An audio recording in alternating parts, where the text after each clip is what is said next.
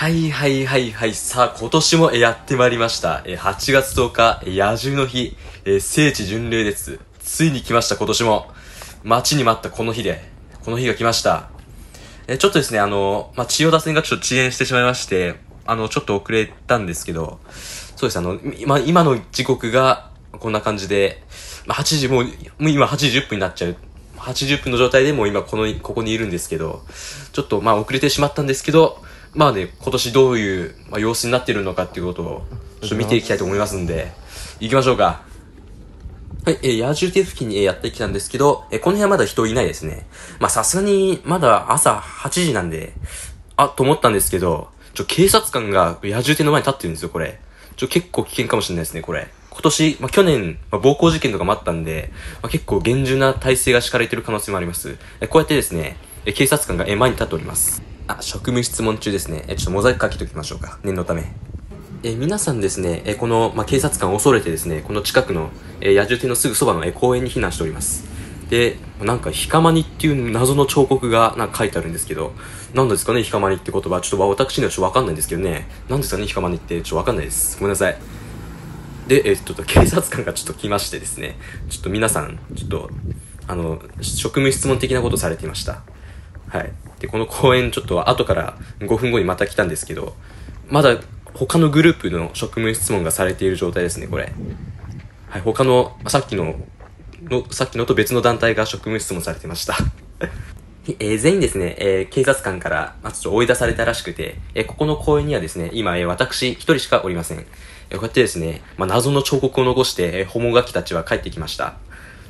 なんですかこれ、な、なに、ギ、ギタマニ？ギタマニってなんだこれ？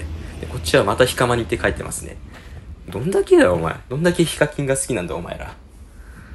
てか、ヒカマニと陰夢中ってほんとセットでなんかついてますよね。な、なんなんですかね、これ？この現象。こちらもヒカマニって書いてますよ。こっちもヒカマニとか書いてますけど。なんなんですかね？ヒカマニと陰夢中ってなんか、関わりあるんですか？なんか、なんでセットになってるんですかね、いつも。ちょっと私のよくわかんないんですけど、この現象が。まあ、陰キャが好む趣味ってことで共通してるんですかね。えーそしてその奴らが、えーまた、えーダイニングメッセージのようなものを残してきました。また、ヒカマっていう謎の、え文字を残してきました。面白いわ、本当に。陰キャの生態を本当にもっと知りたいです、私。で、えー警察官ちょっと来ましてね、えー増員されてましたね。結構やばい状態になっております。はい、えちょっとですね、このままだとね、警察官に追われてるっていう映像だけしかね、撮れてないんで、ちょ、これじゃつまらないので、ちょ、去年のですね、えー素晴らしい映像をお見せしたいと思います。今回も、え野獣の日がやってきましたってことで、えまた行っていきたいと思います。